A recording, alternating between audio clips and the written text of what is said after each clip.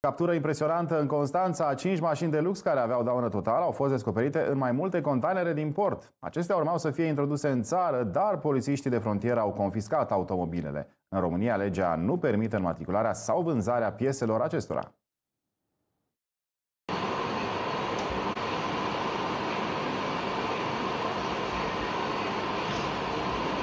Polițiștii de frontieră din cadrul gărzii de coastă împreună cu inspectorii de la biroul Vamal de frontieră Constanța și lucrători din cadrul registrului auto român au controlat mai multe containere sosite în portul Constanța. În urma acțiunii au fost descoperite cinci autoturisme care proveneau din Statele Unite ale Americii și figurau cu daună totală. Legislația din România nu permite ca piesele mașinilor să fie folosite ca fiind second-hand și nici nu pot fi înmatriculate. În acest moment, autoritățile continuă verificările în acest caz, iar la finalizarea anchetei vor dispune măsuri cu privire la respectivele autovehicule. Tot în portul Constanța, în urmă cu o zi, au mai fost descoperite alte două mașini de lux, cumpărate de un român din Emiratele Arabe Unite. Bărbatul nu a declarat valoarea adevărată a automobilelor, așa că în urma verificărilor documentelor, autoritățile de control au confiscat mașinile până când proprietarul va reuși să ofere explicații.